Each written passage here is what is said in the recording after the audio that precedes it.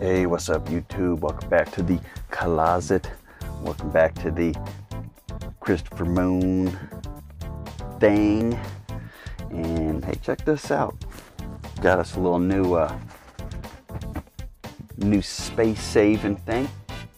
Thank you, Amazon.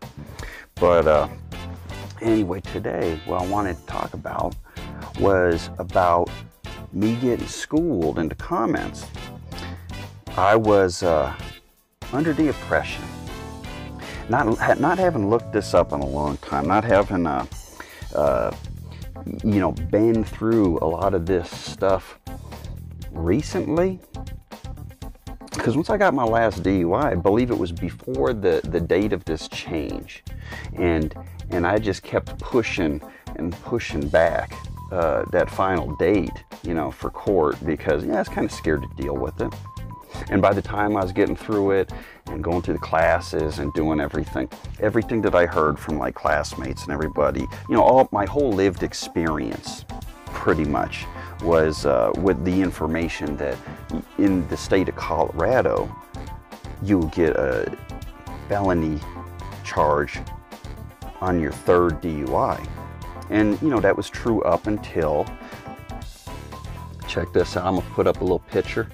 Uh, this date right here, that's right.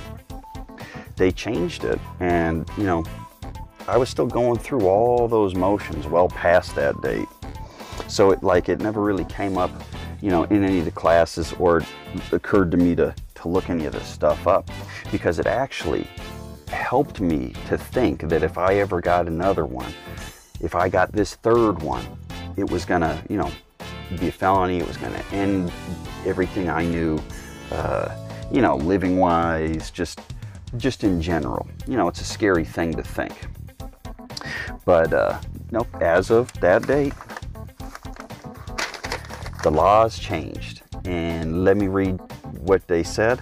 And, and, and you know, all this, all this information, it comes from, uh, I'm not to say the person's name, but it was somebody who viewed one of my old videos, and I really appreciate it. So thank you, sir or ma'am, or whoever you are, because uh, it was a very respectful, informative uh, comment, I really, I really appreciate that. I loved it. Thank you. Um, you know, you inspired this. and and for me to do a little bit more learning and reading and get on that phone and, and, figure out you know what's going out what's going on out there in Colorado you know what's going on so I went and I looked it up and as of 2015 it changed from three to four and the you know, the fourth time. Let me let me just read what the state of Colorado said. Um, fourth, regarding the fourth DUI, fourth, under current law, a person who commits a fourth or subsequent DUI offense commits a class four felony. Now, the fourth doesn't mean it's a class four, the fifth doesn't mean it's a class five. Like the, the classes of a felony are all very different depending on the, the crime committed. So, for a class four felony, um, you could get that because it's your fourth, but you know, also, you know, the other grouping of individuals that have a class four felony are sexual assault, uh, vehicular homicide, I, I believe neglect, criminal uh, neglect, whatever that means. I think I know what that means, and I, I don't want to think about it. That's I don't, I don't like that. I don't want to think about that at all. But uh, yeah, there maybe there's something else. I don't know. I didn't write it, but it, it's it's a grouping. It's not the fourth is four the first is one. Because if the first was one, you'd be screwed. But that's what we got going on. Uh, with that, I guess, you know, I guess if, if it takes you a little bit longer, you got to hold on to that drink a little bit longer to, uh, you know, make it through. Then it's good because it gives you maybe one maybe two more opportunities to commit, you know, whatever crimes you are if you're out drinking and driving. That's not good. But uh, also, I think it's kind of bad because, it, you know, for me, it had that effect that if I mess up one more time, I'm done. And now, you know, I don't know. Does would that make you, you know, if you got two, and you thought I got two more times before I'm done? What level, you know, what level of fear is that that you're gonna either, you know, put it away, never touch it again, or like, yeah, you know, eh makes me feel better. Makes everything better. Just pour that all over me. I don't know. But regardless, regardless of if you have a little bit more time, a little bit less, uh, it's just, it's up to you if it's good or bad. For me, I'm indifferent on it. Like, like I think it is a good thing, and I think it's a, uh, it may be a potentially bad thing. The only thing that I worry is that with more opportunities to to stay in the wrong, if you would, with more opportunities to stay and, and, and not just think, I don't want to have any other way out but to quit, to, to stop, to, to whatever you need to do to get away from that kind of trouble. Like, I think it, it, it's just closer to, to get in its claws you for good because you're not fighting the law. You're not fighting the time in jail. You're not fighting any of this stuff out there that, that, that you're worried about. That's the stuff you're worried about. The stuff that you're not worried about is what happens if I never, you know, never get caught? What happens if uh, there's no consequences to me drinking and driving and doing stuff? That's the stuff that I worry about. That's the real scary stuff. Once, once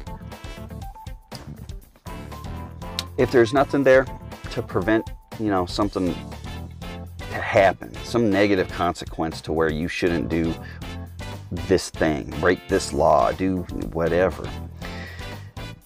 It's easier to, to let let that alcohol, let the drugs, let whatever just sink its claws into you. And, and, and you're not going to want to change. You're not going to want to get out. Once it gets in there enough, it's in there and then you don't make your choices anymore. You don't decide to, you know, maybe I'll get a beer tonight because it was a rough day. Maybe I'll do this because of whatever. Those are the reasons we kind of give ourselves leading up into that. But then it becomes getting off of work, I need a beer. Getting up for work, I need a beer. It turns into that. It'll turn into wake, waking up, I need something to keep it going. I've seen people with the DTs and everything going through it. It ain't good. It's a, it's a, it's a real physical thing. Like it's a real physical thing that that affects the whole person. The whole person. And if you just keep drinking, you know, one of the biggest things that that you know worried me about drinking. Once I was going through all those classes and doing AA and doing all that stuff, a lot of the old dudes, these old dudes that spent their whole life drinking, they had these like big bulbous noses with like all the, all the capillaries were bursting or something due, due to the alcohol. Like so much alcohol like starts it starts changing the way you look. It starts changing the way you look. It changes the way you think feel like everything. It, it, it's just, it takes your life. And I don't want a life to be taken on this side of the wheel, on the other side of it, on any side. And, and you know, whether it's three, whether it's four, like it, it's just something that everybody needs to take a look at. If you're in this camp, if you're in this boat, take a good hard look at it and, and, and think of, you know, think of the consequences inside the legal system, but think of them more uh, in your own life. Think of them more. Yeah, how's it going to affect your family? How's it going to affect your loved ones? How's it How's it going to affect you in the long run? Because at the end of the day, you know, this is your game. This is your thing. The world ends with you. You know, don't give it all up for some dumb shit. Don't give it all up. But that's all I got. For the commenter out there, you know who you are. I know who you are. Thank you very much. Amazing comment, amazing information. Thank you so much. And uh, for the rest of you guys, I love you guys too. You know, comment whatever you want. Comment whatever you want. If I'm wrong, if I'm right. I love to hear it. I love to hear from you guys, and I hope you have a wonderful day.